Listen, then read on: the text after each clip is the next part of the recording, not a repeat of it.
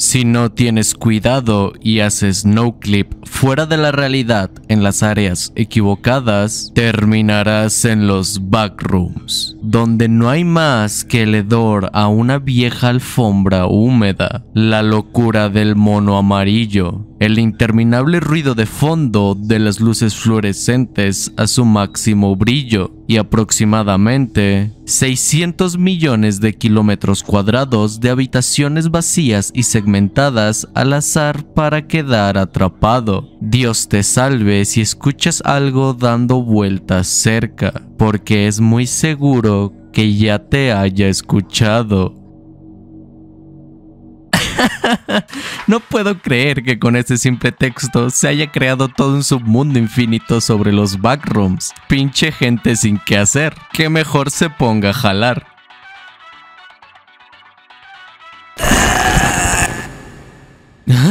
Oh, oh, oh, sí. Ahora que estoy atrapado en los backrooms, tengo una excusa más que perfecta para ponerme de huevón y retrasar más los videos. Ah, menos mal que nunca salgo sin mi cum. Comfortable, unilateral, Mabel. Espera, ¿acaso eso es Project Z?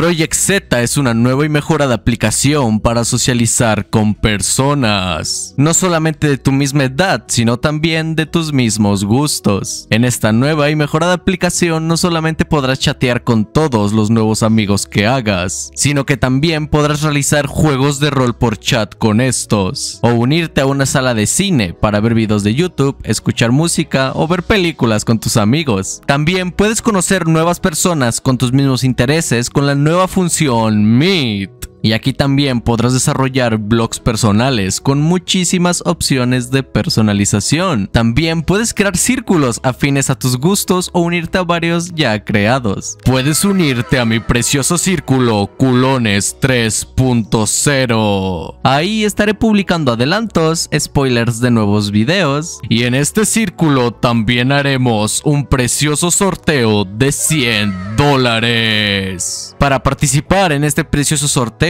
puedes unirte a mi círculo utilizando el link que está en la descripción. Una vez descargues la app, no se te olvide usar mi código de referido MEXICAN.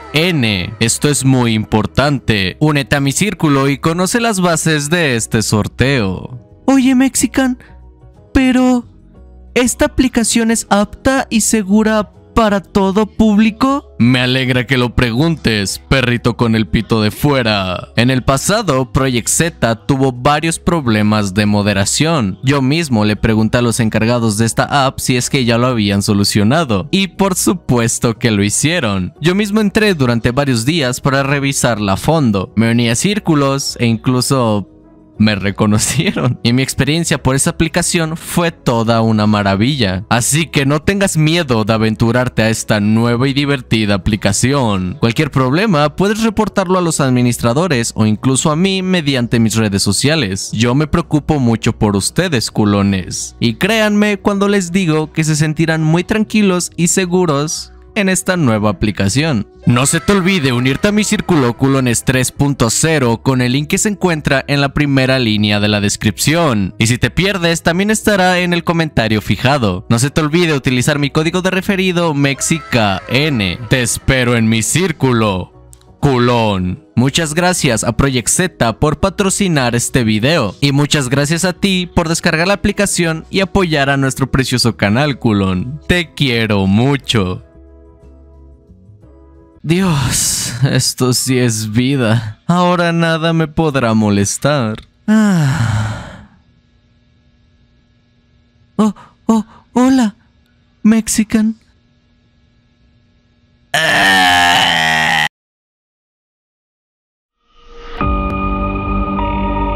Advertencia.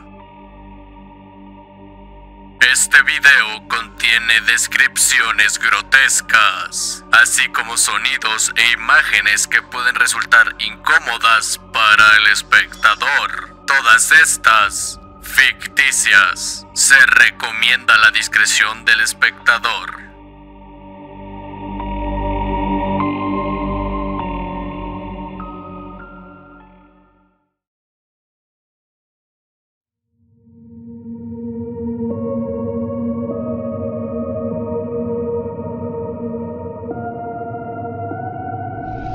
Bienvenidos de vuelta, culones. Esta vez estamos reunidos aquí para resolver un misterio de otra dimensión.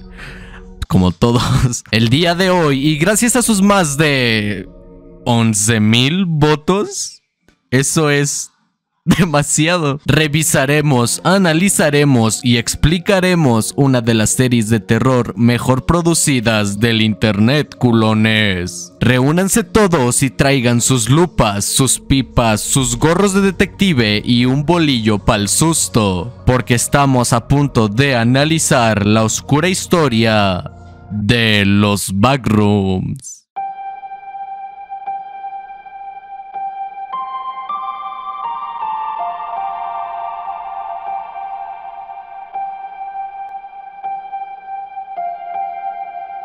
Ah, los backrooms. Ya todo el mundo los conoce. No sería justo que les dieran la misma descripción que ya les dieron más de 600 personas que hablaron sobre este tema. Son espacios liminales que fomentan la agorafobia, espacios repetitivos que, aunque nunca hayas visitado, te causan esa sensación de nostalgia. Una sensación que a pesar de provocar miedo, también te provoca ganas de quedarte, una sensación que solamente los backrooms son capaces de provocar. El día de hoy no entraremos en detalles sobre las 100.000 entidades o los infinitos niveles de esta dimensión. Hoy revisaremos el extraño mundo que Kane Pixels generó en torno a estos, que aunque al inicio pueda parecer un copy-pega de la creepypasta original, no lo es. Los backrooms de Kane Pixel son demasiado diferentes a lo que acostumbramos, donde aquí el miedo no es producido solamente por las extrañas entidades que habitan estos macabros lugares, sino que también es producido por los humanos. Pero antes de continuar culones les quiero dar las gracias porque la cola no puedo. Por todo el inmenso apoyo que le han estado dando al canal, culones. En verdad, su apoyo es completamente increíble. Aún no creo que hayamos formado esta comunidad tan hermosa. Todos sus likes, sus vistas y sus comentarios me motivan a seguir con este increíble proyecto. Y todo el amor que me dan se les será recompensado con aún más amor. Así que, desde ya, desde el fondo de mi corazón de perro, les quiero decir que los quiero mucho. Son las personas más increíbles que haya conocido. Se los agradezco infinitamente. Y antes de continuar, un precioso shoutout para los miembros nivel musa del canal. Un gran shoutout para Cronan, el gran tirano. Para el Vicentoide. Para Takubo18, que de hecho Takubo, estoy enojado contigo porque me espantaste. ¡Ah! ¡No! Baba, ¿Qué es esa? Bowie. ¿Quiénes son ustedes? Quien de hecho nos dice... Las emperador de limón son las galletas más deliciosas del mundo junto con la pizza con piña. O sea, todo bien, las emperador de limón están ricas, pero ¿cómo que la pizza con piña está rica? ¿Qué te pasa? Un shoutout para Pepinazzo, para Dan Dahin y para Chocolatebot Ewe, mejor conocido como mi padrino precioso chulo hermoso, quien también nos dice: Las quesadillas deben llevar queso, si no, solo son tortillas de harina. Uf, Chocolatebot, tantos idiomas y decidiste hablar con la verdad. Y este mes nos despedimos de Darky, la cual se ha quedado sin ser miembro musa. Vuela alto, Darky. Muchas gracias por hacerse miembros del canal y apoyarlo, culones. Recuerden que pueden revisar todos los beneficios aquí abajito, preciosos, y elegir el plan que más acomode a sus necesidades, culones. Muchas gracias, culones honorarios, por apoyar al canal. Así que, sin más dilación, tomen su lupa, su pipa, su gorrito de detective y la mitad de su bolillo porque le di una mordida ahorita que andabas distraído, porque estamos a punto de resolver uno de los misterios más grandes de Internet. Es hora de adentrarnos a los backrooms de Kane Pixels. Sin más dilación, comencemos, culones.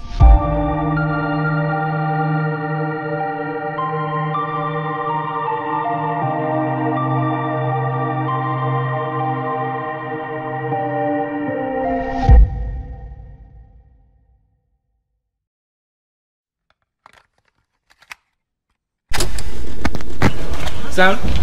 Camera. Rolling. All right. And action.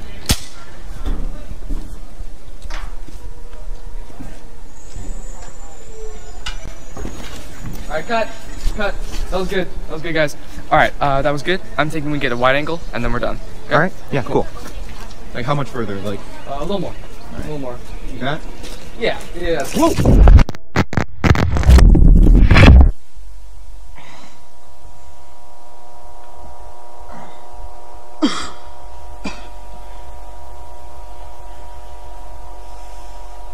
Bien culones, pasemos entonces al primer video de toda esta preciosa serie. El primer video lleva por título Los Backrooms, metraje encontrado. A su vez, la descripción de este video nos dicta 23 de septiembre de 1996. Guárdense esta fecha porque va a ser muy importante para después culones. En esta cinta podemos ver cómo un grupo de amigos se encuentran filmando lo que parece ser una especie de película. Mientras graban una escena, el director le dice al camarógrafo que tome una vista más amplia de esta. Y mientras el camarógrafo retrocede, este hace no clip. Para los que no estén familiarizados con este término, no clip se puede traducir literalmente como no colisión. Pero, ¿Qué es la no colisión? Como su propio nombre lo dice, la no colisión es la capacidad que tiene algo de no colisionar. Es decir, poder atravesar objetos sin importar el material, el grosor o si hay algo o no detrás de estos. Este término fue popularizado por el videojuego Garry's Mod,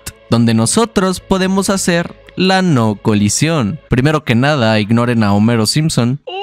En este videojuego, si presionamos la tecla V, podemos dejar de colisionar con el ambiente y podemos atravesar cualquier superficie u objeto. Selene Delgado López. Y como dije antes, puedes atravesar cualquier cosa, incluso el piso, aunque no haya nada debajo. Puedes romper los límites del juego y el no clip en la vida real es eso, romper los límites de la realidad atravesando el propio tejido de esta, haciendo que llegues a un lugar fuera de la comprensión humana, donde la física, la materia y el propio tiempo se condensan en algo completamente ilógico. Bienvenido a los backrooms. Aquí podemos ver cómo este chico logra entrar a los backrooms luego de romper los propios límites de la realidad. El chico, desorientado, comienza a grabar su propia expedición en estos oscuros espacios.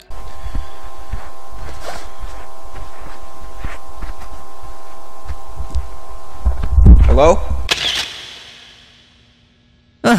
Por supuesto, olvidé mencionarlo. Un espacio carente de lógica debe de estar habitado por criaturas carentes de lógica. Es aquí donde añadimos un nuevo peligro a los backrooms. Las criaturas. Los backrooms tienen su propia fauna, una fauna sin lógica, que tienen como único propósito sobrevivir. Y tú, como un simple turista en este lugar, no eres más que un platillo de comida recién servido para ellos. ¿Eh? ¿Qué es eso? Selene Delgado López, de 18 años, se extravió el 22 de abril El chico, mientras es acechado por una de estas criaturas, comienza a adentrarse más y más en los backrooms, donde nos muestra la macabra anatomía de este lugar. Desde una grita en la pared queda un pasillo gigante con una puerta, rectángulos en las paredes que no tienen ningún propósito, hasta un pequeño cuadrado en la pared con una escalera, que, al entrar, se encuentra con una habitación con una iluminación diferente y una entrada. Y una vez entra por esta... Sí, se encuentra con el mismo laberinto amarillo. Los backrooms no tienen ningún sentido. Es una generación aleatoria que no tiene ni principio ni final. Aquí el chico sigue explorando y es cuando se encuentra con unas flechas pintadas en la pared, las cuales no fueron hechas por ningún humano, sino que más bien fueron hechas por la misteriosa criatura que está acechando al camarógrafo. Porque sí, culones, cualquiera puede caer en este lugar. No se necesita de un ritual en específico, no se necesita de ser alguien especial. Para entrar a los backrooms, lo único que se necesita es tener muy, pero muy mala suerte.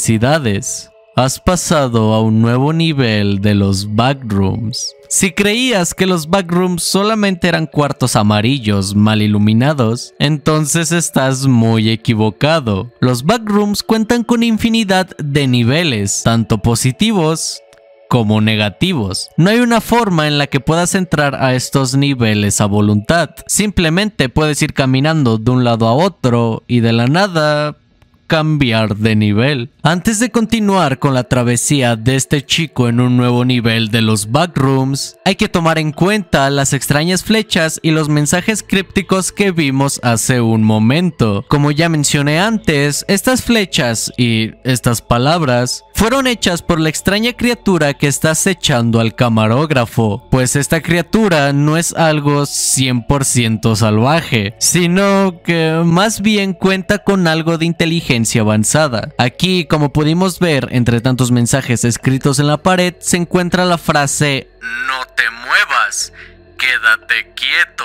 Esta frase no beneficiaría a quien sea que la lea, sino que, más bien, ayudaría a esta criatura a cazar, haciendo que la persona que lo lea se quede quieta y así esta criatura pueda devorarla. Oye, Mexican, pero...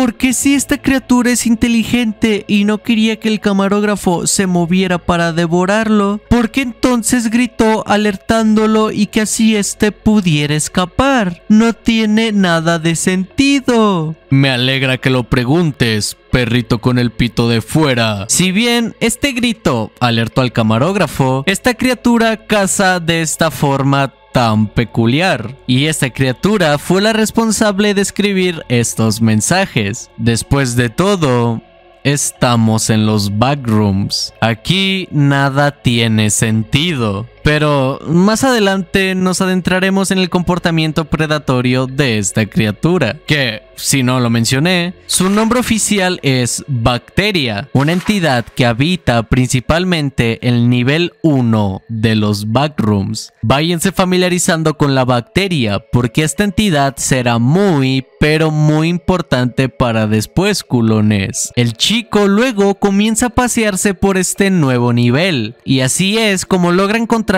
con unas entidades que aparentan siluetas humanas y con una no. Más bien, con muchísimas salidas de los backrooms. Aunque honestamente siento que estas no son salidas literales de los backrooms, sino que en realidad son salidas de este nivel hacia otros, sirviendo como portales entre diferentes niveles de los backrooms.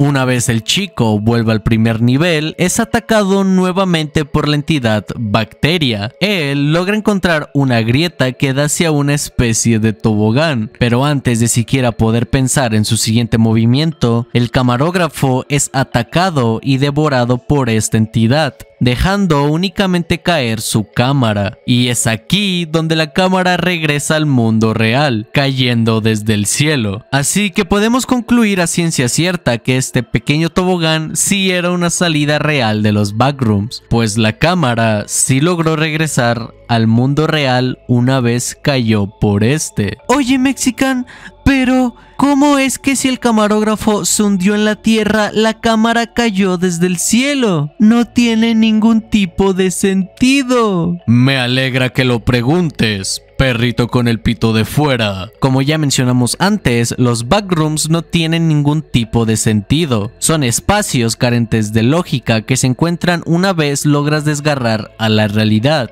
Los backrooms sirven como agujeros de gusano, ya que no solamente logran doblar el espacio a su voluntad, sino que también logran doblar el tiempo, ya que se nos dijo que este metraje fue encontrado en 1996, pero sin embargo, en la claqueta del inicio se nos dice que la película estaba siendo filmada en 1991. En ningún momento de la grabación a la cámara se le acabó la batería y no vimos al sujeto tener ningún tipo de necesidades fisiológicas. El camarógrafo pasó unas horas en los backrooms, pero en la vida real pasaron 5 años por lo que los backrooms pueden comportarse como un portal hacia algún otro lugar del espacio, pero no solo del espacio, sino también del tiempo. Guárdense esta información, culones, porque va a ser muy, pero muy importante para después.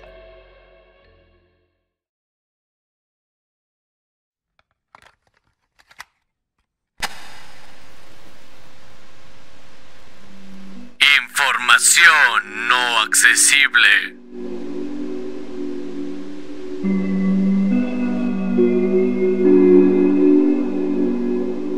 Volviendo a formatear.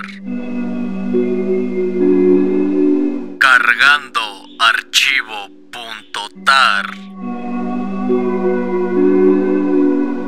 Y es así como pasamos al segundo video de toda esta preciosa serie, culones. Este video lleva por título Mar 1190 Archive.tar. Este título puede ser una especie de indicio de la fecha de procedencia de este, la cual podría ser fácilmente el 11 de marzo de 1990, aunque en la descripción nos dicen que este video fue compilado un año después, en junio de 1991. En este video se nos muestran varias imágenes de los mismos backrooms, pero hay algo muy interesante en ellas. Pero antes de verlas, hagamos una pequeña pausa y déjenme preguntarles algo, culones. ¿Cómo es que surgen los backrooms? No hablo de la vida real, no hablo de cómo surgió la creepypasta ni de los espacios liminales. Hablo literalmente de cómo es que surgen los backrooms. Podemos comprenderlos como un fallo en la realidad, pero ¿Los backrooms siempre han existido? La respuesta con más sentido es no. Imagina que hace millones de años un cavernícola pisa mal, hace no clip y termina en los backrooms. Esto no tiene nada de sentido, porque los backrooms implican un espacio liminal para los humanos, es decir, un ambiente incómodo,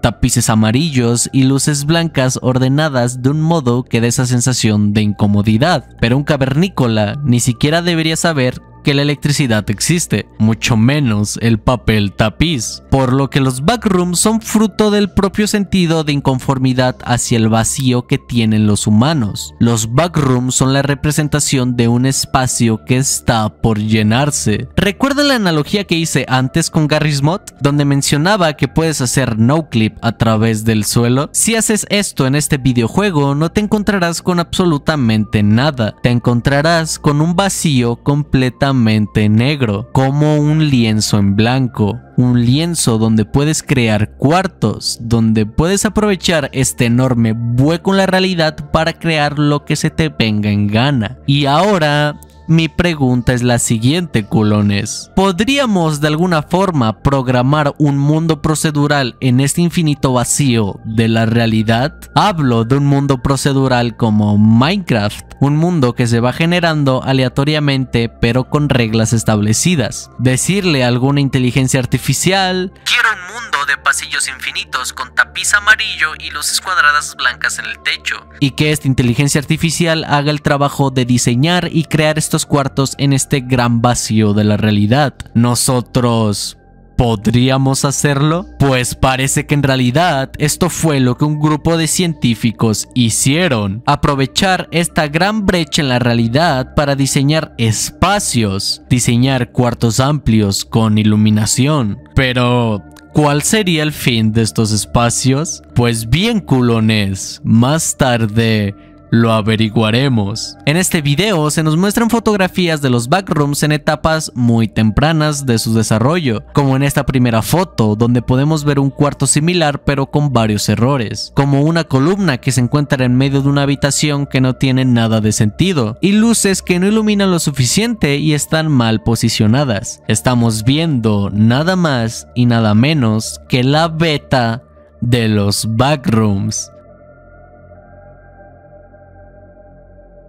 También podemos ver este plano, que más que un plano arquitectónico parece ser un plano eléctrico, pero convertido en una especie de algoritmo, para que así la iluminación de los backrooms se pueda generar mejor. También vemos una especie de cuarto que bombea agua y fotografías de trabajadores de este proyecto. La primera nos muestra a este sujeto utilizando una computadora antigua. Esta era una computadora primitiva que era utilizada junto con esto, una interfaz de procesamiento de mensajes. En otras palabras, programación. Este sujeto de aquí se encontraba programando a los backrooms. Luego vemos un sujeto junto a maquinaria seguido de la construcción de lo que parece ser una especie de cuarto de control. Y luego tenemos a esta infame imagen. Esta imagen nos muestra a este sujeto programando en tiempo real a los backrooms en la sala de control que estaban construyendo en la imagen anterior. Esto confirma nuestra teoría de que en realidad los backrooms son creación del ser humano. Luego se nos muestra una zona nula. Para ser precisos, la zona nula número 4. Esta zona tiene un texto escrito debajo que nos dicta... Debido la discrepancia de elevación entre los paneles 225 y 234,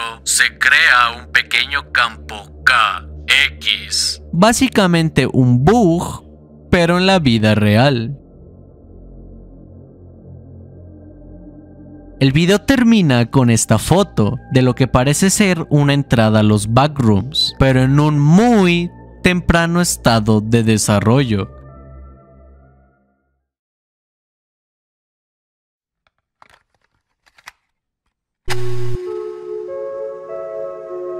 On July 2nd, 1988, the ASIN research facility tested its low proximity magnetic distortion system for the third time. Details regarding the results of the experimentation have not yet been released. During a press conference held in April of 1988, Ivan Beck, Vice The ASIN Foundation, described the intention of these tests, stating this program, if granted sufficient backing from the United States government, will offer a solution to all current and future storage and residential needs and save billions of dollars on property construction and management. Bienvenidos al tercer video de esta serie, culones. Este video lleva por título Los Backrooms, la tercera prueba, y data del 2 de julio de 1988. Este video nos dicta la finalidad de la creación de los Backrooms, una solución barata y práctica al problema de viviendas y almacenamiento de los Estados Unidos. Sí, culones, por fin sabemos cuál es el propósito inicial de los Backrooms. La empresa Async es la encargada de toda esta infraestructura, y este video es la tercera prueba que realiza Async para generar todo este mundo procedural en este espacio escondido de la realidad. Esta tercera prueba nos mostrará si es posible generar a los backrooms.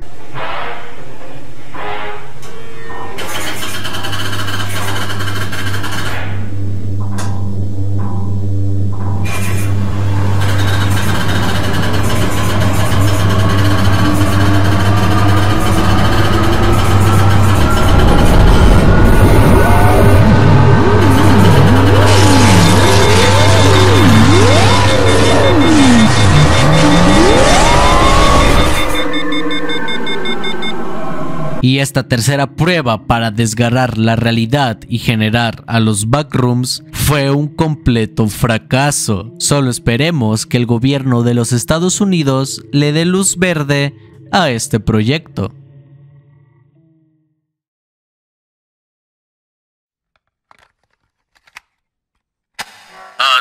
Advertencia del FBI. La ley federal prevé severas sanciones civiles y penales por la reproducción, distribución o exhibición no autorizadas de la siguiente cinta de video.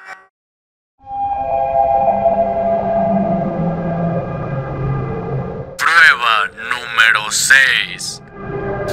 Y es así como nos abrimos paso hasta el siguiente video, culones. Este video lleva por título Backrooms, el primer contacto, y data del 7 de octubre de 1989, poco más de un año después de la tercera prueba. La descripción también cuenta con un enlace a un video a YouTube, pero más adelante ahondaremos en él, culones. Como vimos al inicio de este video, nos encontramos con un aviso del FBI. Esto quiere decir que Async tuvo suficiente suerte y ahora cuenta con la financiación del gobierno de los Estados Unidos. También a lo largo de este año se hicieron dos pruebas más, y este video nos relata la prueba número 6 para tratar de generar a los backrooms en esta brecha de la realidad. Nos muestran la nueva infraestructura de Async gracias a la financiación del gobierno y nos muestran más detalles técnicos para tratar de arreglar el código de la programación de los backrooms. Y así estos se puedan generar correctamente. Y luego se nos muestra este pequeño texto, que si lo volteamos nos dice en pocas palabras que si el espectro de rapidez de las partículas es igual a 8000, esa generación de los backrooms será un completo fracaso. Y ahora sí, culones. Sin más dilación, iniciemos la sexta prueba y veamos si podemos crear a los backrooms. Dale al botón, perrito con el pito de fuera. Voy a ignorar eso.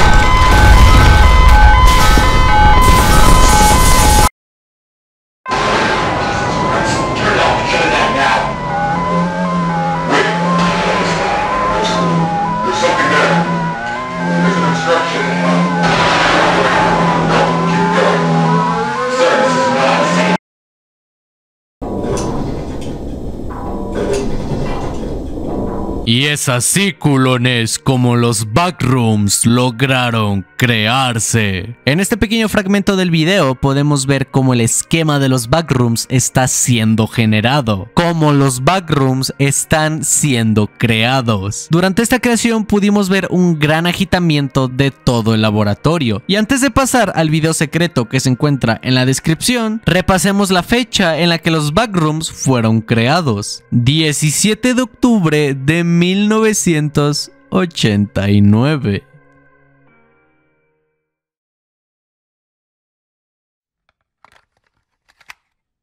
I'm Ted Koppel. There has been a rather strong earthquake in Northern California, so strong, in fact, that it has, among other things, knocked out all the power, uh, or much of the power, at Candlestick Park, where the third game of the World Series was being played. Este video lleva por título collateral.mob, haciendo alusión, obviamente, a la palabra daño colateral. En este video se nos muestran fragmentos de diversos noticieros de los Estados Unidos, cubriendo un terremoto local. Este terremoto ocurrió el 17 de octubre de 1989, el mismo día en el que los backrooms fueron generados. Este gran estruendo que causó la creación de estos no solamente fue local, sino que Como vemos en este mapa, este gran terremoto sacudió una gran zona de los Estados Unidos, desde Santa Cruz hasta Santa Rosa. Aquí podemos ver cómo este terremoto causó el deceso de varias personas debido al colapso de estructuras. Pero si crees que este es el único daño que causó la creación de los backrooms, estás muy, pero muy equivocado.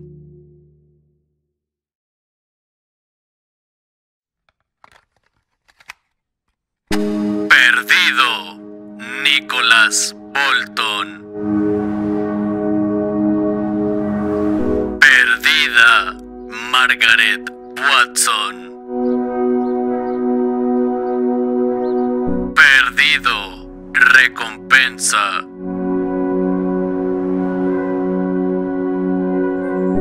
Perdido. Ellis White.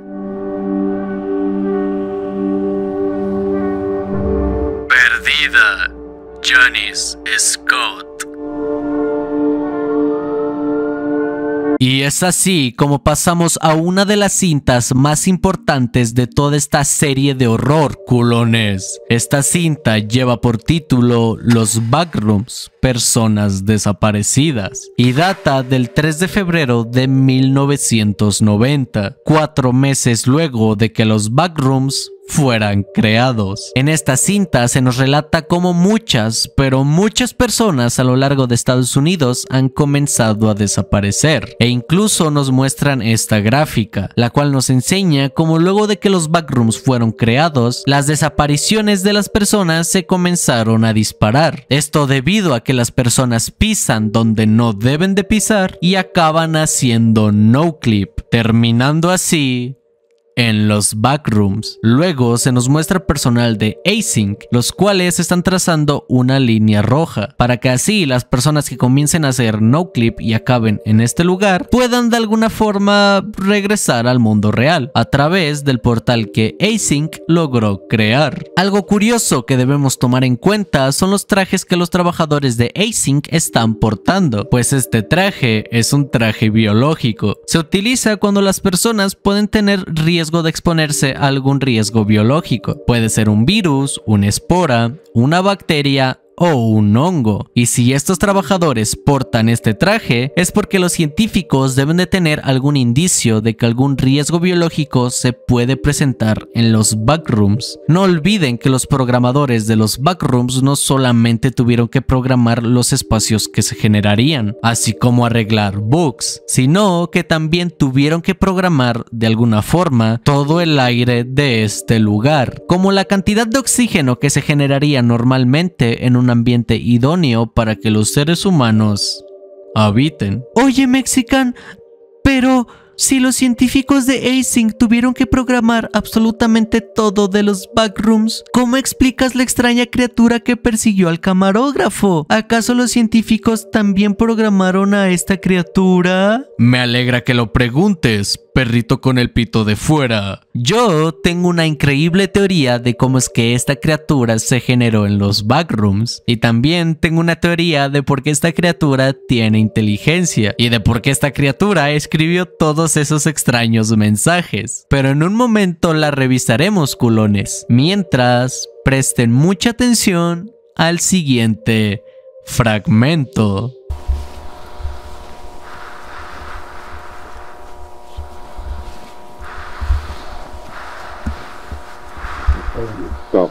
It. I don't know. I've never seen this before. It may just be part of the environment.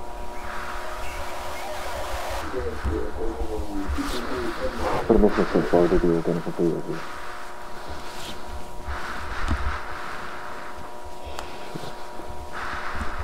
This makes no sense. This wasn't in the last report? No, this is this is definitely new.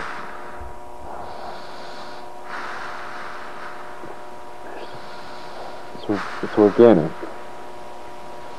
Must be some kind of fungus. Bien, culones. Analicemos. En este pequeño fragmento pudimos apreciar cómo los trabajadores de Async encontraron a un no clipper. Este va a ser el término que le daremos a las personas que por azares del destino hicieron no clip y acabaron en los backrooms. Así que váyanse familiarizando con este término.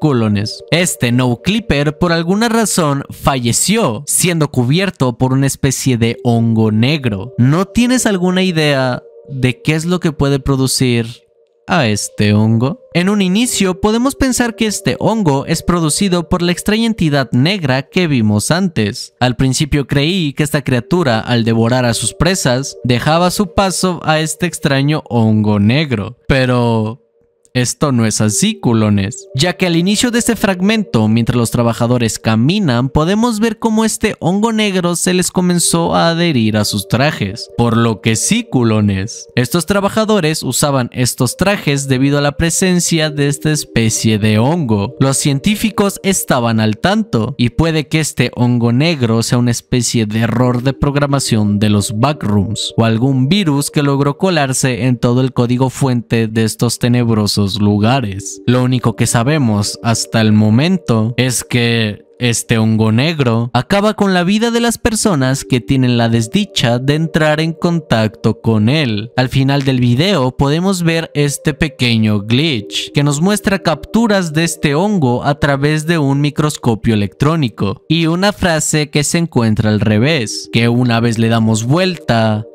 nos dicta... Si cualquiera cúlpalo a él. Aún no tengo idea de a qué se puede referir esta frase. Tal vez la persona que está editando todas estas grabaciones, porque sí, están editadas, nos quiere mostrar la verdad y quiere dejar como culpable a una persona. Pero...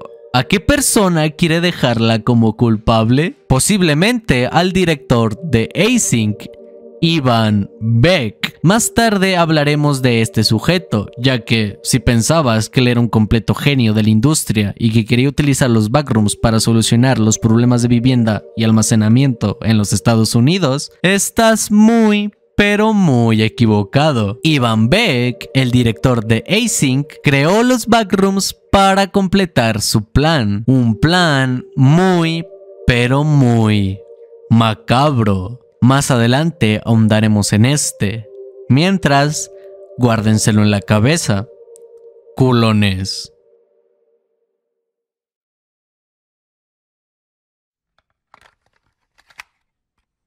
Reporte de autopsia a John Doe, 5 de febrero de 1990, Departamento de Ciencias Biomédicas de Async. Subject is male, um, somewhere between 18 and 21 years old. I estimate that the time of death was around five days ago, but due to the severe tissue damage, it's it's hard to say for sure.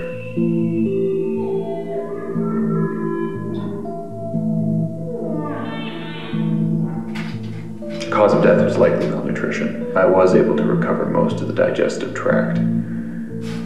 So, as things start to deviate from what we would consider to be natural, the decomposition process appears to have been stunted somehow. It, it's like it's like portions of the body stopped decaying and, and were sustained. Bien, culones.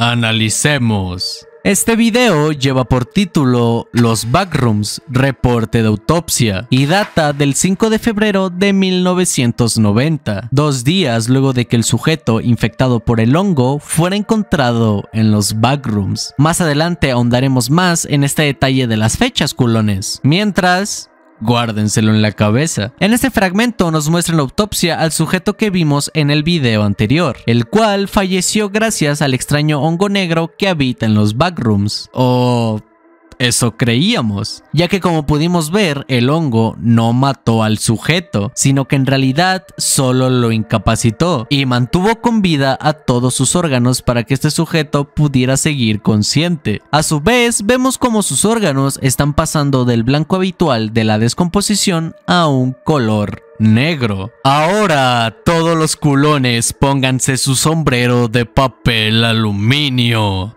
porque nos pondremos locos con las teorías. Yo tengo la teoría fehaciente de que este hongo transforma a los humanos que entran sin protección a los backrooms en las entidades llamadas bacterias. Ya vimos que las bacterias tienen un nivel avanzado de inteligencia y que además escriben de manera perfecta el inglés, sin tomar en cuenta que este hongo no mata a sus huéspedes, sino que mantiene con vida sus órganos y los transforma a un color negro. Pero esta teoría no acaba aquí, culones. Aún quedan varios videos más que van a reforzar muchísimo esta teoría. Mientras, quiero que la tengan en mente. Este video finaliza con un shot a una pantalla de televisión. En esta comienzan a pasar diversos sucesos de los backrooms, hasta que nos encontramos con este texto, culones. Y hasta ese punto, el sentimiento de que todos los compromisos serían serios en este entorno se esfumó. Nunca fueron adecuados para la humanidad. El delirio de mantenimiento es la condena. Este texto nos explica cómo los backrooms nunca fueron aptos para que los humanos los habiten. Jugar con la realidad puede traer muchas consecuencias, terremotos, desapariciones, criaturas raras y hongos peligrosos. Los científicos hicieron un total de 6 pruebas. Hicieron los cálculos necesarios para poder generar estos espacios. Tenían conciencia del hongo que habita estos lares. Aquí la pregunta que debemos hacernos es ¿por qué nunca se detuvieron?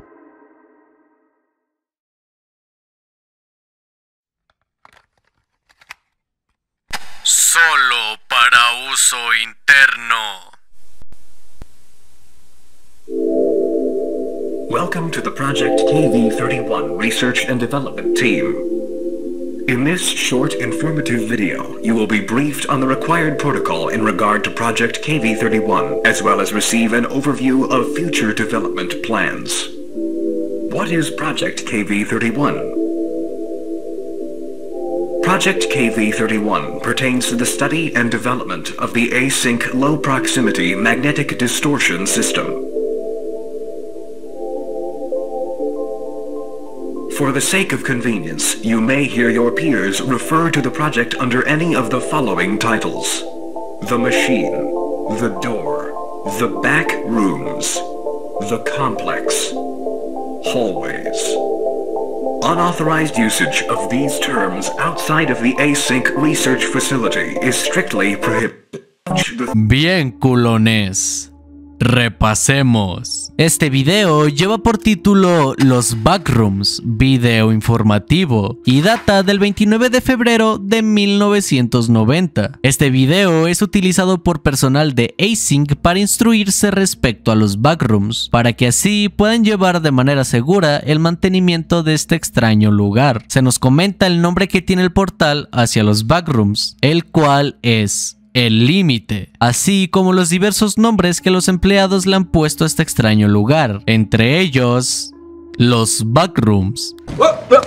A continuación, se nos procede a decir diversas medidas de seguridad que debemos de tomar en cuenta para que nuestra estancia en los backrooms sea de lo más segura y también para que no ocurra ningún inconveniente. Una de las medidas más importantes de seguridad es nunca acercarse al límite sin tener una supervisión guiada, ya que es muy fácil perderse en este extraño mundo. También se nos dicta como nunca debemos de entrar a los backrooms solos y que los empleados que lo hagan deben formar grupos de no menos de tres personas. Oye Mexican, pero nosotros estamos en los backrooms y solamente somos dos. ¿No crees que eso va en contra de las reglas?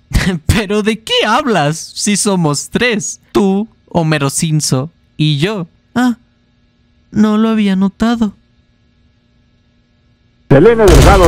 A continuación, se nos muestra una nueva expedición de los empleados de Async en los backrooms. Pero antes de continuar, pausa. Quiero que noten los alrededores. El portal que une el mundo real con los backrooms no tiene nada de importante. Solo es un portal que da directamente con los backrooms. No hay una sala de control ni nada que indique que por ahí es la salida. Guárdense este dato, culones, porque va a ser muy, pero muy importante para después. Luego de esto, los empleados de Async, que en esa expedición son cuatro, comienzan a trazar las mismas líneas rojas para que los desafortunados que caigan aquí puedan dar con la salida más fácilmente. El trabajo parece ir bien, todos están cumpliendo con su labor sin mayor inconveniente, hasta que el empleado número 4, el cual nombraremos como el camarógrafo, comienza a escuchar algo extraño.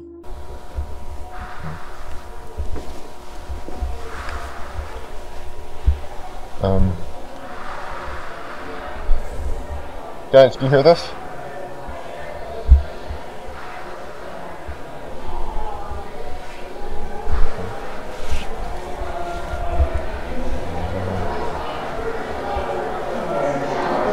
Hey guys, do you hear this? Hey! Guys. Um. Guys. George.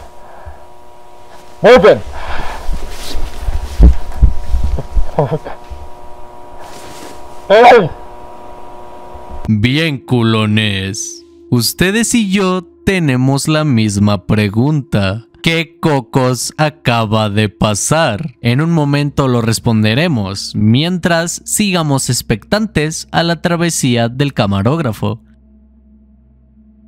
¿Quién dice expectantes? What the fuck? Nuestro camarógrafo sigue caminando por los backrooms, tratando de encontrar una salida y de regresar por donde vinieron. En su travesía se encuentra estructuras raras, como esta especie de teatro con algo roto en el centro, y este cuarto, el cual parece un bug, un error de programación. Pero, ¿Por qué digo que es un bug y no algo creado por el ser humano? Pues bien, culones, saquen sus cuadernos, sus lentes y 200 pesos porque gratis, ni las mentadas de madre. Para saber si esto en realidad es un bug de programación de los backrooms y no una especie de cuarto acondicionado por el ser humano, hay que notar esos detalles sutiles que se pueden escapar al ojo humano. Primer detalle. La iluminación. Vamos a poner de ejemplo a otro mundo generado proceduralmente en base a un algoritmo. Minecraft. En este videojuego es común que durante la generación del mundo, la iluminación se buguee en ciertas zonas y encontremos estas especies de sombras extrañas donde no las debería de haber. Mientras tanto, aquí en los backrooms podemos ver un cuarto en específico que se encuentra mal generado en el apartado de la iluminación, pues podemos apreciar que este cuarto no se generó con las típicas lámparas blancas clásicas de los backrooms. Segundo detalle, el papel tapiz. Antes que nada, les voy a dar mi pequeña versión de lo que debía de ser esto. Esto no debería de ser un papel tapiz, sino que por el contrario, debería de ser un bosque con una casa. Porque sí, culones. Ya vimos antes cómo estos cuartos amarillos no son lo único que los backrooms pueden generar. Ya vimos en el primer video cómo se generó un complejo de apartamentos e incluso una oficina. Por lo que tengo la teoría de que este cuarto en realidad debía de ser una casa en medio de un bosque una cabaña pues. Pero el algoritmo, al no estar bien programado, en lugar de generar literalmente la casa en el bosque, diseñó los mismos cuartos, salvo que el papel tapiz de esta habitación representa eso, una casa en medio del bosque. Tercer detalle, los objetos. Oye, Mexican, pero si este cuarto está generado mal debido al algoritmo, ¿cómo explicas las carretillas? En realidad, estas carretillas sirvieron para trasladar los materiales y así acondicionar este cuarto. Esto no fue culpa del algoritmo, en realidad fue un producto humano. Me alegra que lo preguntes, perrito con el pito de fuera. Este punto se responde fácil, ya que muchas personas en los comentarios de este video y en varias teorías nos dicen esto mismo, que estas carretillas sirvieron para trasladar el material y reacondicionar esta habitación. Pero no es así. Estas carretillas también fueron producto de una mala generación de este cuarto por parte del algoritmo. Y es que, ¿en serio crees que esta carretilla enorme cabría por esta pequeña puerta? Sin contar que detrás de ella el papel tapiz se buguea, como cuando se buguea una textura en cualquier videojuego. Luego de esto, el camarógrafo sigue explorando los backrooms hasta que por azares del destino se encuentra con la salida.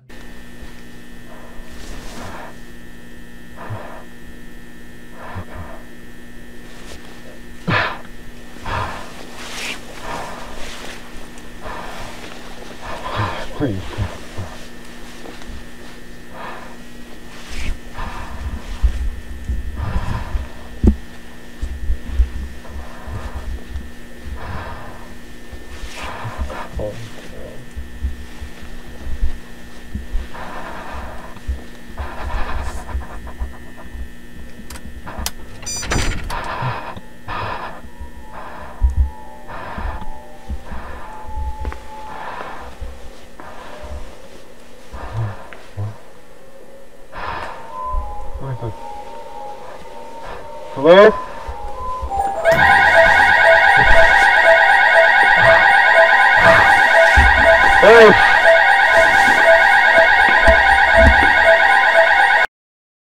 Bien, culones.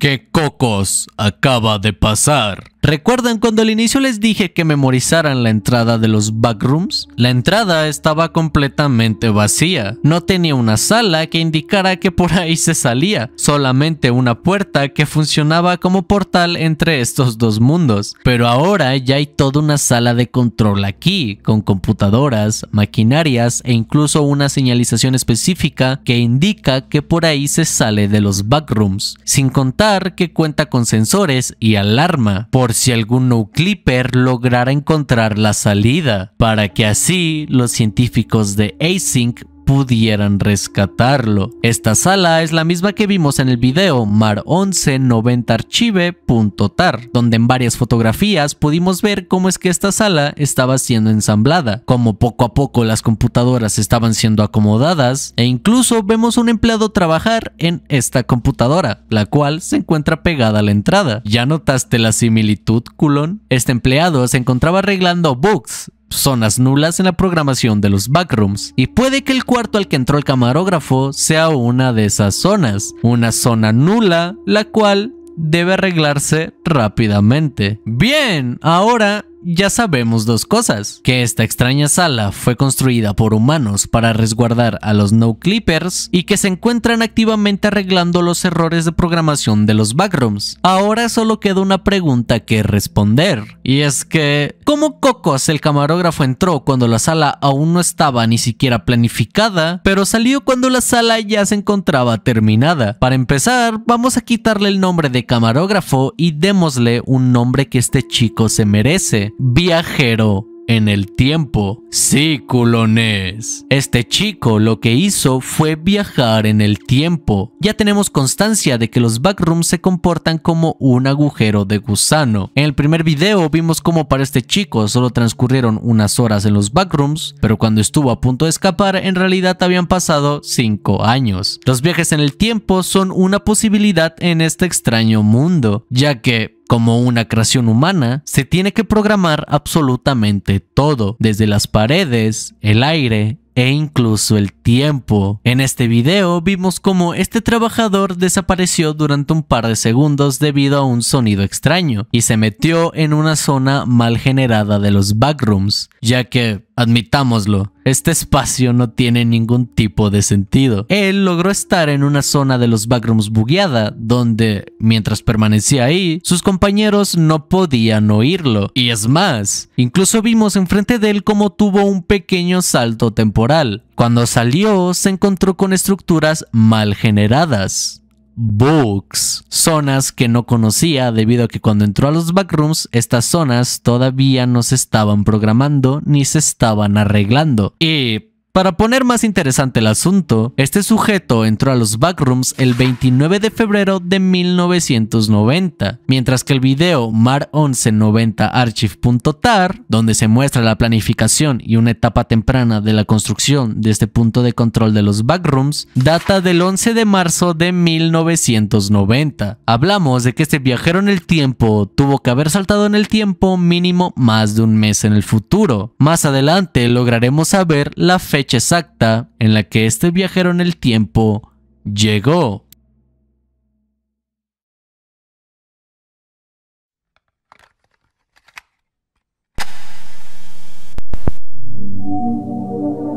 ...5 de marzo de 1990...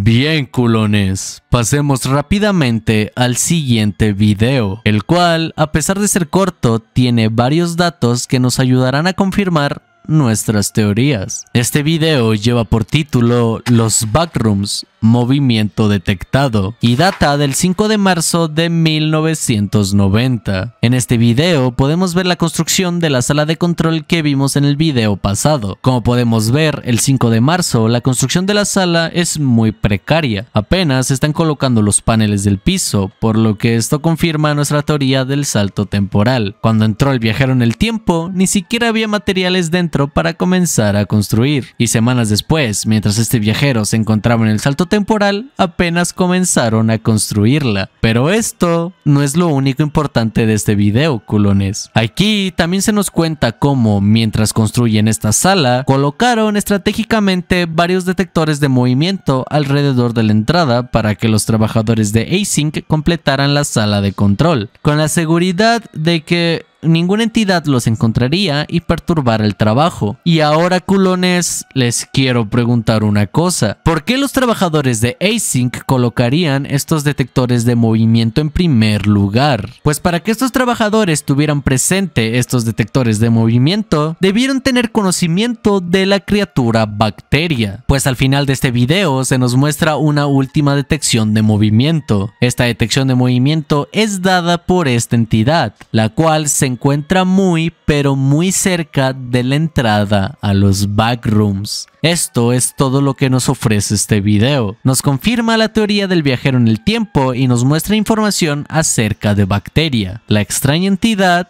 que se encuentra habitando a los backrooms.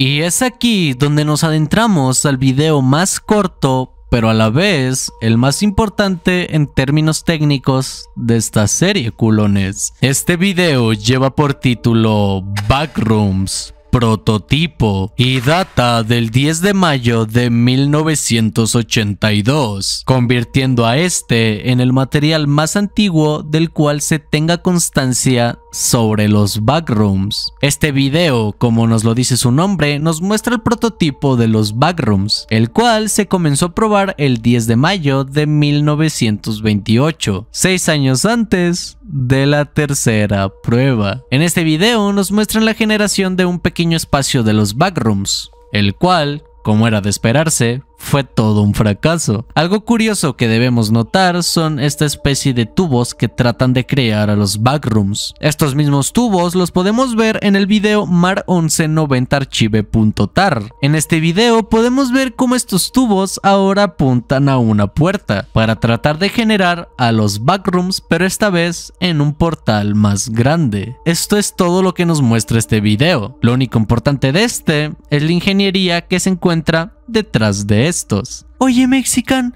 ¿me estás diciendo que solo incluiste esta cinta para rellenar el video?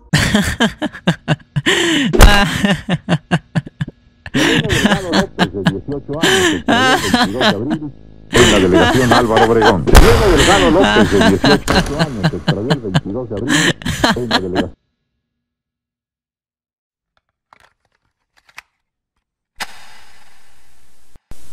...6 de mayo de 1990... ...documentado por Marvin E. Lake...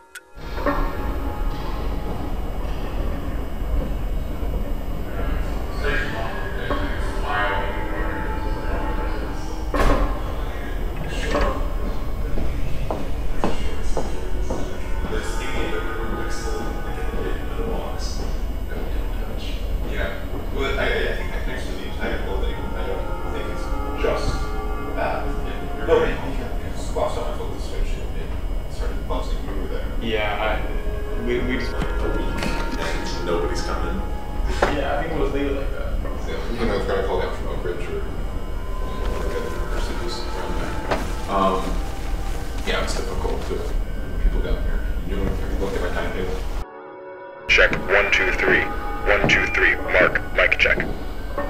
You're all good. This is Marv. One two three. Marv. Mic check. One two three. Great. Uh, this is George. Mike.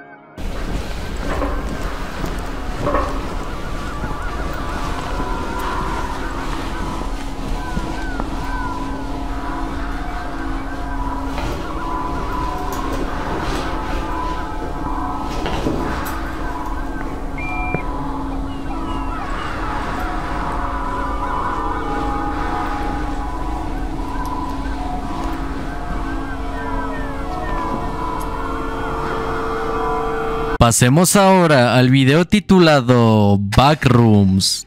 Trampas. Este video data del 6 de mayo de 1990. En este video podemos ver una nueva expedición a los backrooms, esta vez conformada por cuatro personas. La meta de la expedición es la misma, marcar líneas que sirvan como indicaciones para aquellos que tuvieron la mala suerte de hacer no clip y así puedan regresar de forma segura al mundo real. Nuestro equipo se encuentra haciendo estos señalamientos como de costumbre hasta que, de forma repentina al dar una vuelta, se encuentran con esto.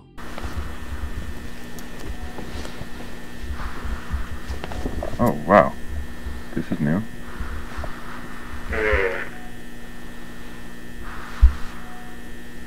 Is that all carpeted? Looks like carpet on all sides.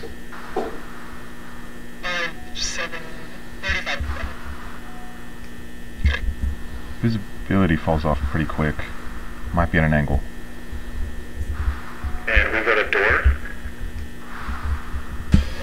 Don't recognize the design.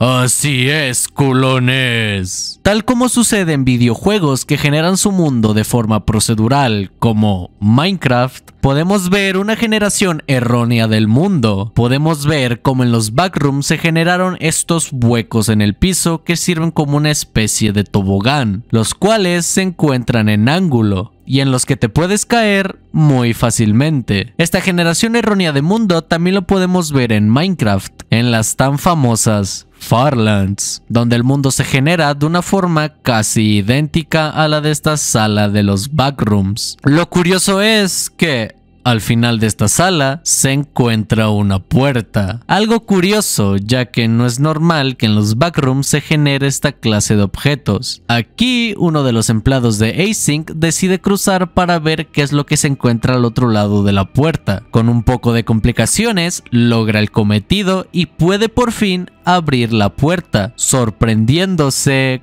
con lo que encontró al otro lado de esta.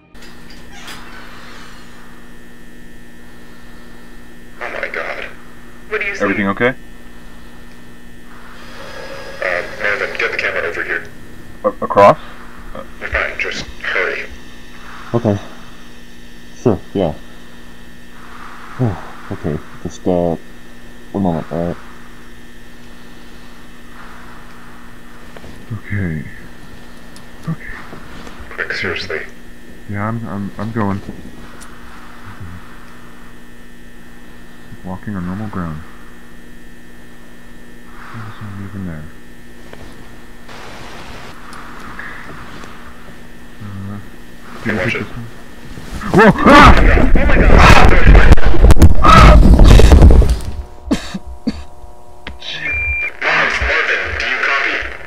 Yeah. Yeah, I'm alright. Are you injured? I think I pulled something in my shoulder. Aquí podemos ver cómo este trabajador logra resbalar por uno de los agujeros, los cuales estaban inclinados para que las personas pudieran caer en estos, como una especie de trampa generada accidentalmente. Aquí este chico se encuentra con una versión casi idéntica a los backrooms, salvo que el papel tapiz es completamente diferente y se encuentra con una generación de mundo más aleatoria y completamente sin sentido. Al momento en el que este trabajador de Async resbala en este agujero, se nos muestra un glitch del cual podemos alcanzar a leer lo siguiente. Mientras que los datos podrían deducirse de estas lecturas, nadie sabía lo que realmente se encontraría al otro lado. Esto tal vez haciendo alusión a cómo los científicos podrían deducir lo que se encontraba atrás de la puerta, solamente revisando el algoritmo de los backrooms. Pero esa es solamente mi deducción. Ustedes, ¿qué pueden deducir de este extraño mensaje, culones? Mientras, volvamos con nuestro amigo, el empleado de Async. Una vez él cae y comienza a orientarse por este nuevo entorno, sus compañeros deciden buscar ayuda. Hasta que sucede lo siguiente. What was that? What was what?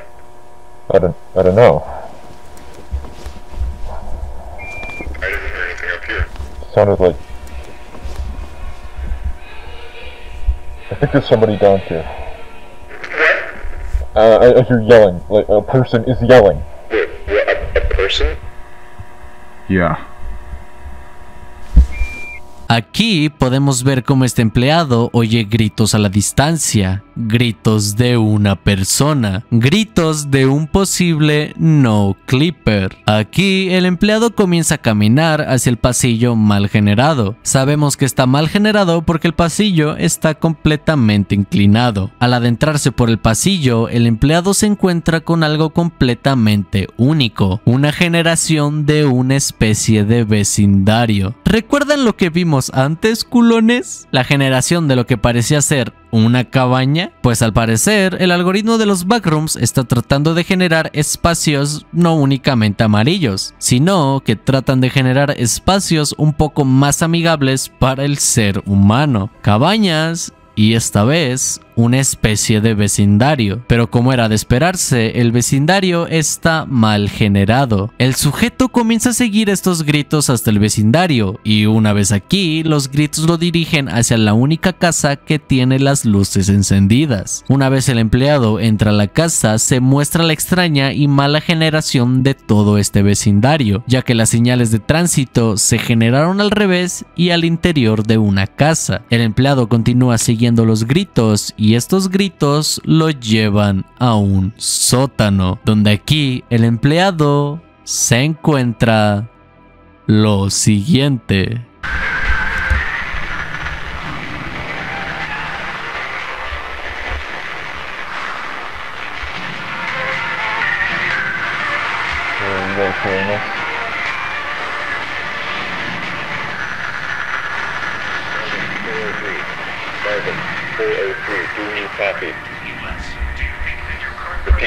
Do you copy? This is Marv. Okay. Good, we read you.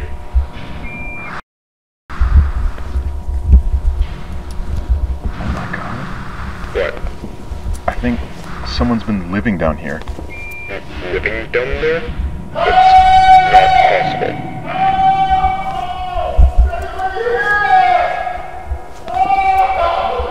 Hey! Can you hear me? I think I got him. Sorry, can you repeat that? Marvin, That's not a person. what is it? That is not a fucking person!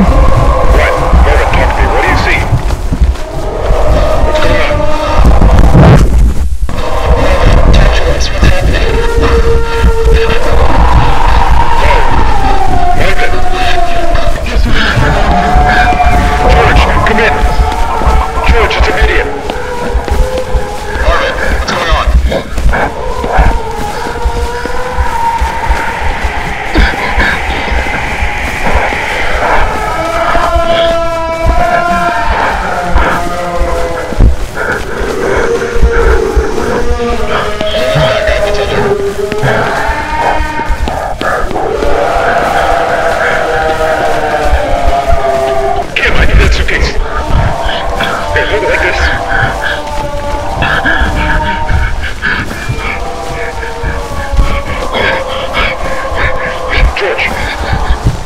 Here. Send it down.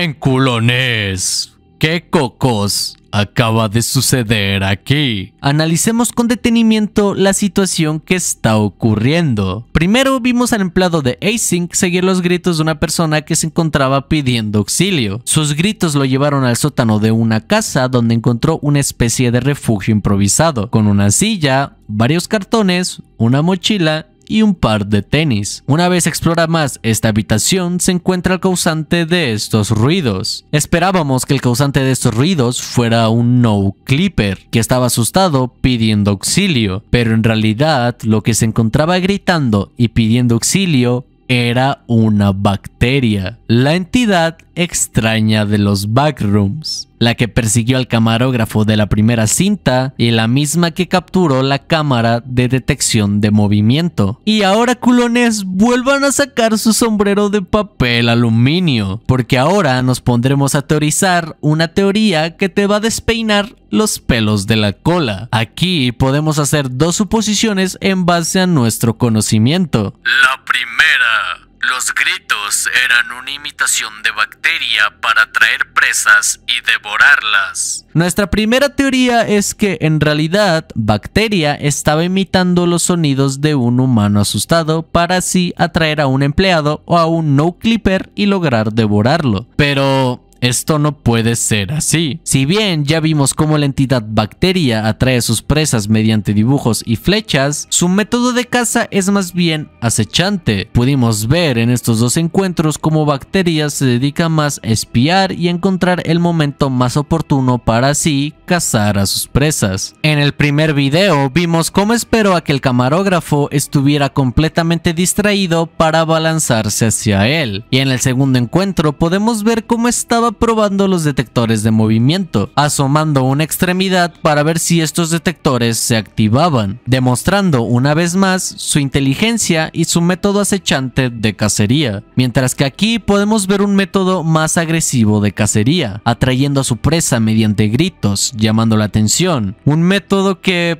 nunca hemos visto antes. Por lo que no. En realidad, los gritos no eran imitación de bacteria para atraer a sus presas, ya que yo tengo la teoría como mencioné antes, de que bacteria es el resultado de un ser humano siendo expuesto al extraño hongo negro de los backrooms sin ningún tipo de protección. Por lo que siguiendo esta extraña teoría y descartando por completo el hecho de que bacteria hizo esto a propósito para atraer presas, tenemos la segunda y lo que para mí es la teoría más acertada. La segunda. Los gritos de auxilio eran genuinos y representan la desesperación de un no clipper mientras se convierte lentamente en una bacteria mediante la infección del extraño hongo negro de los backrooms. Sí, ya sé, mucho texto, pero déjenme desarrollar esta teoría culones. Si tomamos en cuenta que el hongo negro extraño de los backrooms transforma a los humanos en bacterias una vez el humano es expuesto a este sin ningún tipo de protección, podemos deducir que los humanos tienen un tipo de transición, una transición que convierte a un humano en bacterias. Ya vimos que un humano expuesto a este hongo no muere, permanece en un estado de zombie durante un tiempo, un tiempo en el que no puede moverse pero puede sentir todo lo que ocurre. En el video de la autopsia pudimos apreciar cómo los órganos que el hongo mantuvo con vida se estaban volviendo negros, el mismo color de los bacteria. Y si este humano no hubiera fallecido debido a la falta de alimento, es muy probable que se hubiera terminado de convertir en una de estas entidades. Para reforzar esta teoría, podemos deducir, gracias a lo visto antes, que cuando alguien entra a los backrooms comienza a gritar por auxilio al inicio, y mientras más explora, comienza a dejar de gritar. Esto es porque comienza a perder la esperanza de ser encontrado y por miedo de llamar la atención de una de estas criaturas. Si tomamos en cuenta esto, podemos armar un escenario en nuestra cabeza, culones. Vamos a poner a este chico. Su nombre es... Hizo no clip mientras veía los videos del Mexican y cayó en los backrooms. Cuando se percató del extraño sitio donde se encontraba, comenzó a gritar por ayuda, pero después de un tiempo se dio cuenta de que nadie lograba escucharlo, así que desistió y dejó de gritar. Comenzó a infectarse con el extraño hongo negro de los backrooms, pero no lo notó. Él encontró asilo en una casa cercana donde hizo una especie de refugio, y de un momento a otro comenzó a sentirse mal. Entonces comenzó a gritar a todo pulmón pidiendo ayuda debido al dolor que sentía. Este dolor era completamente insoportable. A esto, un empleado de Async escuchó sus lamentos y, una vez llegó para tratar de auxiliar a... Ya no lo encontró. Ya no estaba con nosotros y en su lugar encontró a... El cual ya había terminado de transformarse de humano en bacteria. Esta es mi suposición de lo que pudo haber ocurrido, culones, ya que si en verdad una bacteria hubiera intentado otro método de caza llamando la atención de sus presas, no tiene sentido que haya formado un refugio cuando estas entidades son sedentarias, y mucho menos tendría en su refugio una mochila y un par de tenis. Es algo completamente ilógico. Así que sí, culones. Lo que presenciamos en este fragmento fueron los lamentos de un humano siendo convertido en una bacteria. Luego de este tétrico encuentro, el empleado de Async logró escapar, saliendo ileso de este encuentro junto con sus compañeros. Ahora, la única pregunta que debemos hacernos es ¿qué es lo que sucedió después de este encuentro? Culones.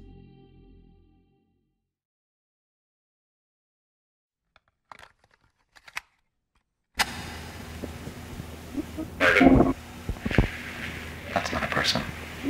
What is it? That is not a fucking person! What? Morgan, talk to me. What do you see? What's going on? Talk to us. What's happening?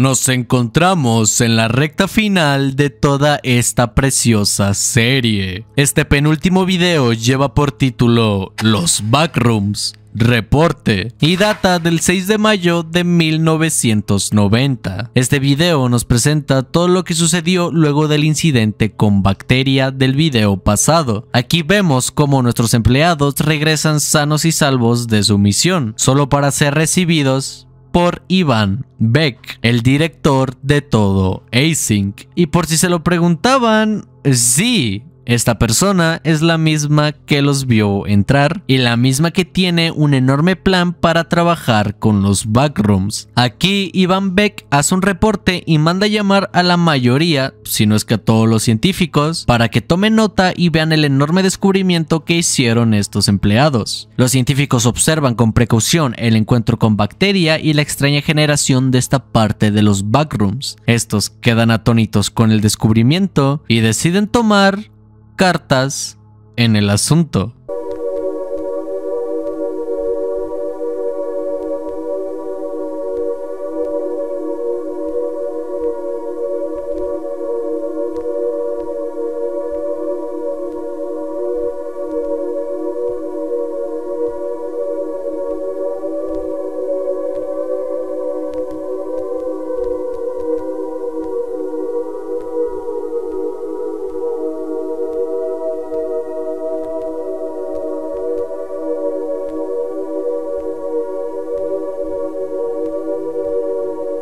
Los científicos deciden clausurar toda esta zona, tapándola por completo, así como también echarle un vistazo a todo el código fuente de los backrooms para tratar de arreglar este error. A su vez, varios ingenieros deciden crear una compuerta de seguridad que se acciona una vez detecta a entidades o personas que entren a la sala de control sin previo aviso. Esto... ¿No les recuerda a algo?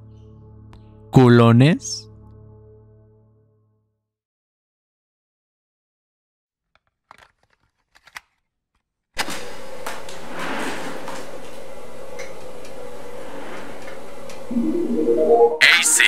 Instituto de Investigación.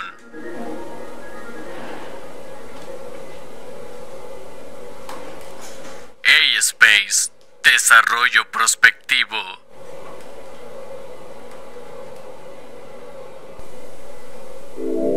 The world around us is ever-changing. Throughout this past century, we have seen the advent of countless innovations that have completely reshaped life as we know it. But with all of this growth comes a number of undesirable byproducts. Byproducts that, if left unchecked, have the potential to irreversibly scar our modern world. As human expansion is projected to increase exponentially in the coming decades, we must account for these never-before-faced challenges in ways equally never-before considered. Here at Async, we believe we have found the solution. The Low Proximity Magnetic Distortion System.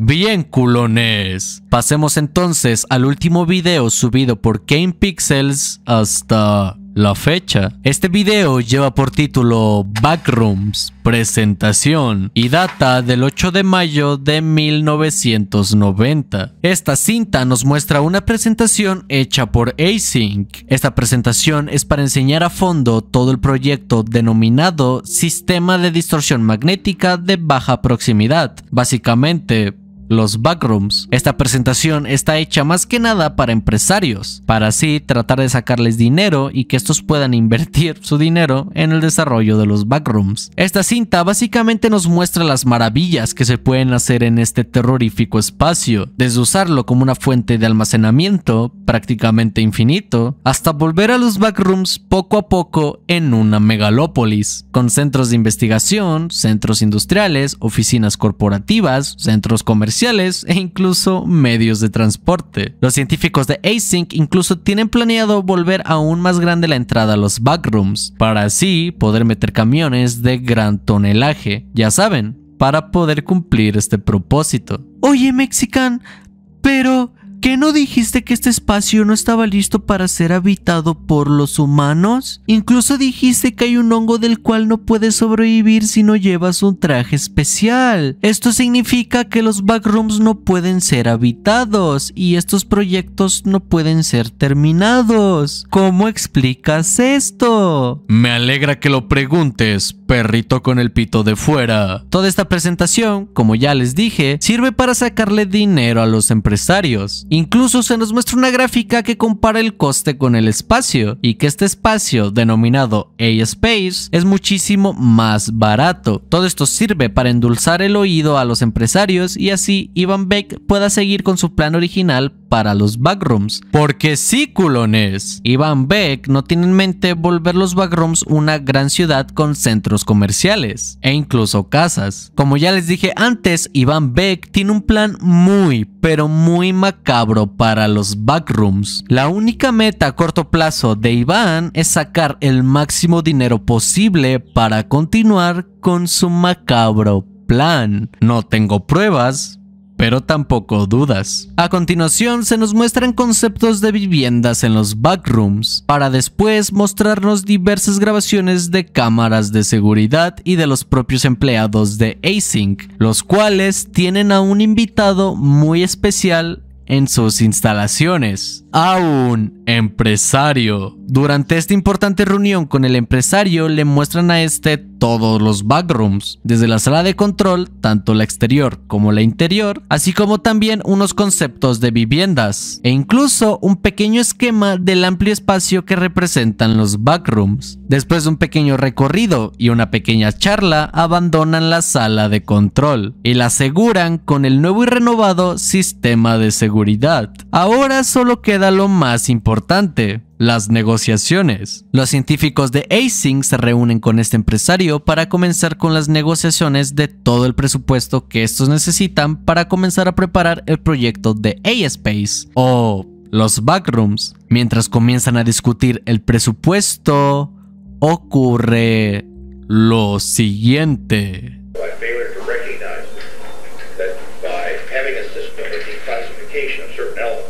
having the industry be with us at that point. Um, Sarah, just come over here. Sir, please take a look at this. Um, if you could all just excuse me for a moment. Uh, my apologies. One moment, please. What is it? Uh, well, it's,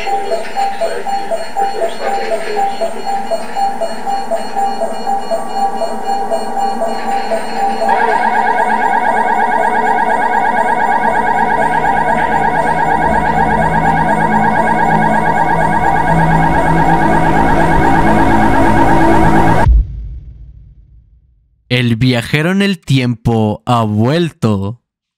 Culones. Como ya había dicho en mi teoría locota anterior, este camarógrafo viajó en el tiempo, todo gracias a un pequeño bug que experimentó en los backrooms. El video Backrooms Informational Video, que es donde este camarógrafo desapareció, data del 29 de febrero de 1990, mientras que el video Backrooms Presentation, que es donde el camarógrafo apareció, data del 8 de mayo de 1990. Estamos hablando de que el camarógrafo viajó tres meses en el futuro solo por pisar una zona bugueada de los backrooms. Oye, Mexican, pero ¿por qué el chico del inicio viajó cinco años en el futuro y el empleado solo viajó tres meses? Si estuvieron casi el mismo tiempo en los backrooms. No tiene sentido. Me alegra que sigas preguntando, perrito con el pito de fuera. Básicamente existen dos tipos de viaje en el tiempo en los backrooms. El primero, la estancia.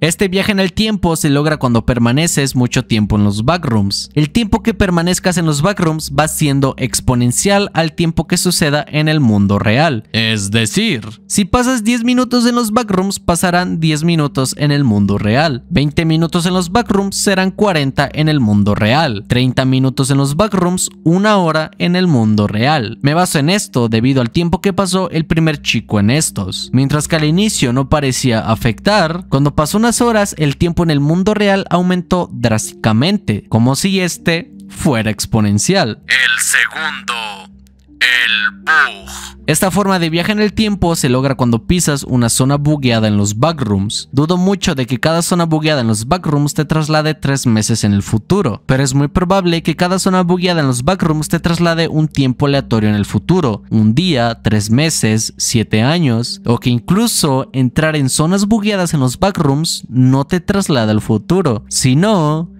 que te traslade al pasado.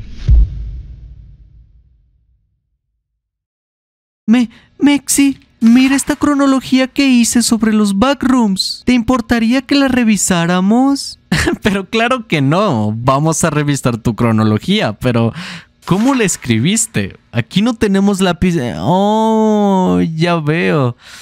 Con razón está pegajosa. Esta historia comienza el 10 de mayo de 1982, cuando la empresa Async comienza a trabajar en el sistema de distorsión magnética de baja proximidad, una forma de diseñar tanto tiempo como espacio en un vacío de la realidad. Básicamente, los backrooms. En este día se hace el prototipo de este sistema, el cual evidentemente falla, pero que ayudaría a Async a perfeccionarlo. Seis años después, un 2 de julio de 1988, sería la tercera prueba, esta vez con un modelo mucho más refinado que se asemejaba al final. Aquí la prueba resultaría en un rotundo fracaso, pero la idea del proyecto, como la demostración de este, le daría pie al gobierno de los Estados Unidos a confiar en este, para así finalmente financiarlo. Un año después, el 17 de octubre de 1989, se logra por primera vez esta programación en la realidad,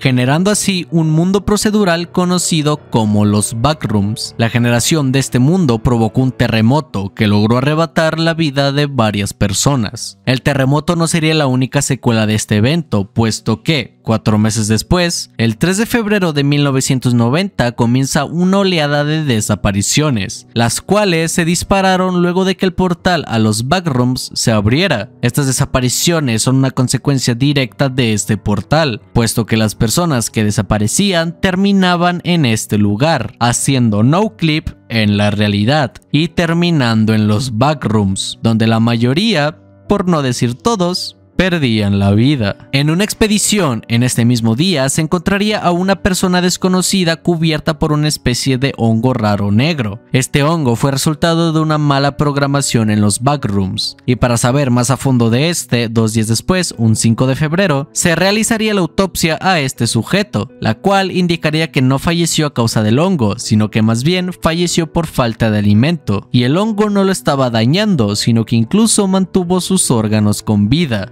estos poco a poco se iban tornando en un color negrizo. A finales de este mismo mes, un 29 de febrero, un grupo de cuatro empleados de Async comenzarían una misión para señalizar la vía de escape de los backrooms, para que las personas que hicieran no clip lograran salir de este macabro lugar en esta misión. Uno de los empleados se separa adentrándose en una zona bugueada de los backrooms y mientras trata de llamar a sus compañeros, los cuales no le escuchan, de un momento a otro salta en el tiempo. El 5 de marzo de 1990 comienzan a verse entidades extrañas en los backrooms, mientras construyen una nueva sala de control. Esta construcción comienza unos días después, el 11 de marzo de 1990. Un mes después, en una exploración en los backrooms encontrarían una generación completamente errónea con una puerta al fondo. Mientras intentaba cruzar, uno de los trabajadores resbaló por un agujero y se precipitó al fondo de este, encontrándose con una generación extraña y más tarde con la misma criatura que habíamos visto antes. Este empleado logró escapar y ponerse a salvo. Una vez se dio a conocer este encuentro, los empleados decidieron cerrar esta entrada para que esta extraña entidad no volviera a aparecer por los backrooms. El 8 de mayo, los científicos presentaron el proyecto a un empresario. Este quedaría fascinado con la idea y decidió financiarlo. Pero esta negociación sería interrumpida por una alarma, la cual anunció la llegada de un empleado a la sala de control. Este empleado sería el que saltó en el tiempo meses atrás y que más tarde regresaría sano y salvo. Un año después, el 7 de abril, se nos presenta la historia de un sujeto cualquiera, el cual cayó en los backrooms desafortunadamente. Aquí, este explorará el lugar, pero para su mala suerte se encontraría con la extraña criatura que intentaron encerrar. Esta criatura perseguiría a nuestro amigo camarógrafo y, para su desgracia, lo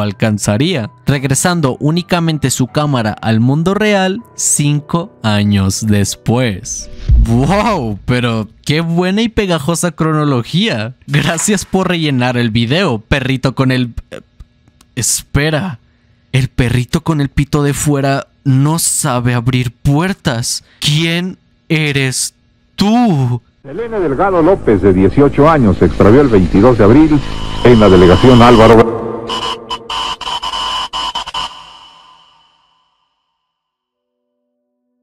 Y estos fueron los backrooms de Kane Pixels, culones. ¿Qué tal? ¿Les gustó el video? Hay muchísima, pero muchísima más historia que abordaremos una vez Kane Pixels saquen nuevos videos. Que de hecho, actualiza súper seguido. Después de haber visto este video, ya no queda nada más que ver de los backrooms de Kane Pixels hasta la fecha. Pero no se preocupen, culones, que aún tenemos muchísimas preguntas que responder. Y yo estaré aquí puntual para responderlas todas. Y muchas gracias en serio por todo el precioso apoyo que le han estado dando a este tipo de videos en el canal, culones. Y extrañamente, también a mis videos antiguos. Me han llegado muchos comentarios acá de aquí nació una leyenda. Muchas gracias por cierto por esos comentarios. El canal está creciendo demasiado y no saben lo completamente feliz que estoy con ustedes, culones. Esta legión de culones se está haciendo cada vez más y más grande. En verdad,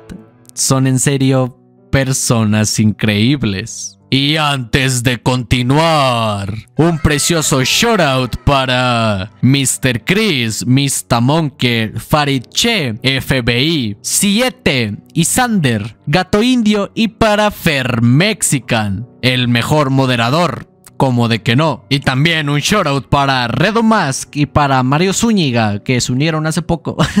Muchas gracias por formar parte de este precioso gremio exclusivo llamado Los Culones Honorarios. Si tú también quieres pertenecer y aparecer en esta hermosa sección, no se te olvide revisar los miembros del canal en el botón unirse que se encuentra al lado del botón suscribirse que ya debiste de haber presionado. O también revisando el precioso link que se encuentra en la descripción. Estos culones se unieron a los culones honorarios siendo parte de los perritos detectives. Puedes revisar los planes de suscripción y ver cuál es el que más se acomoda a tus necesidades, precioso. Muchas gracias por su apoyo, culones. Son en serio unas personas maravillosas. También, culones, no se les olvide unirse al círculo de Project Z oficial del canal. Recuerden que ahí estaremos haciendo el precioso sorteo de 100 dólares. Las bases de este increíble sorteo las puedes revisar dentro del círculo. El link está en la descripción y también se encuentra en el comentario fijado. En este círculo no solamente será el evento, sino que también puedes convivir con los demás culones, así como también ser tú mismo. No se te discrimina a menos que seas negro. Esto lo estoy grabando de madrugada, por eso estoy hablando así bajito. Pero recuerden, culones, que al bajar la aplicación les va a pedir que registren un código de afiliado. Ahí tienen que meter Mexica N. Muy importante, chicos, Mexica N. De esta forma estarán apoyando muchísimo el canal y yo personalmente se los agradeceré bastante. No se les olvide, muy importante, código Mexica N una vez te registres. Gracias a Project Z por patrocinar este video y a ti por apoyar al canal descargando la aplicación con el link que está en la descripción. No solo descargando la aplicación, sino también muy importante, pon el código MEXICAN.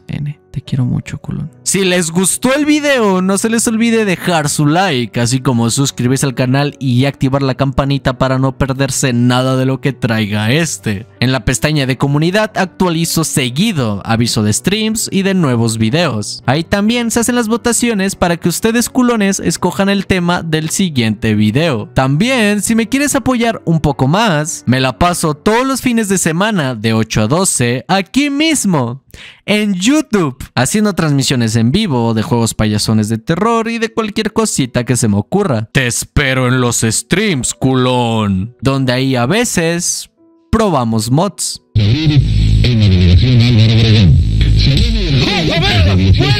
Muchas gracias por ver el video, culones. Yo fui el Mexican López, aunque durante todo el tiempo estuvieron viendo a este perrito con suéter, y nos vemos en la próxima, culones. Adiós.